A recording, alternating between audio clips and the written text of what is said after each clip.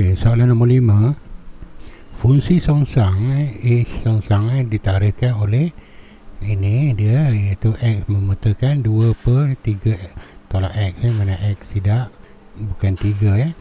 Cari H maksudnya cari yang normal lah ya dia punya bukan songsang.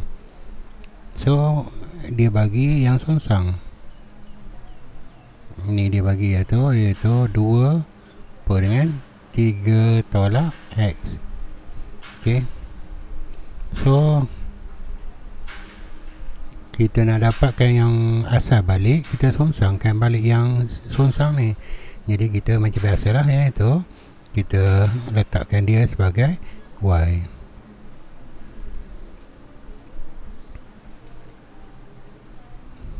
And then kita just eh, ini X satu je kita just apa swap je lah ya tu.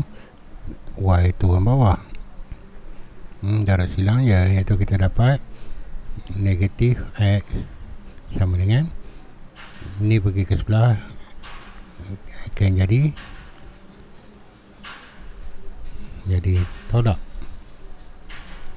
Ok ni negatif eh. So kita nak positifkan dia. Kita eh darabnya negatif maksudnya eh, negatif jadi positif positif jadi negatif. Ini jadi negatif ini jadi positif. Jadi kita letak tiga tu dekat depan lah. Eh susun je. Ok so ini dia eh. Kalau kita nak buat single fraction pun boleh. Nak biar eh single eh buat single fraction lah eh. Fra apa pecahan tunggal. Iaitu kita per dengan y. Ni eh per satu darab dengan y darab dengan y. So dapat 3y ini asal eh, ini dia eh, jadi bermaksudnya kita dapatlah dia punya songsang bagi yang songsang jadi bila songsang bagi yang songsang kita dapat asal lah kita dapatlah H kalau X pula kalau kalau ini Y kita gantikan je. 3X tolak 2 per dengan X? Di mana X tu bukan kosong Nah ini kenapa macam tu? Cikgu dah ceritakan dekat yang sebelum iaitu ni bawah jangan kosong. Kalau macam ni eh kalau kita tiga kat sini bermaksud tiga tak tiga kosong. Eh, jangan tiga lah. Eh ni jangan tiga.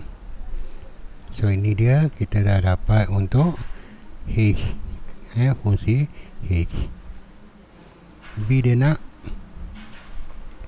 nilai X. Kalau uh, itu adalah 2 ya. kalau ini adalah 2 ini adalah jawapan dia adalah 2 so carikan nilai X ni. So maksudnya SX adalah 2 jadi SX ni apa? SX ni nilai dia iaitu dia ni adalah 3X tolak 2 per dengan X. Ha, ini adalah 2 so kita macam biasa 3x tolak 2 sama dengan ni bagi sebelah akan jadi darab ni kumpulkan sebelah. Ni akan jadi tolak 2x ni akan jadi 2 so x tu adalah 2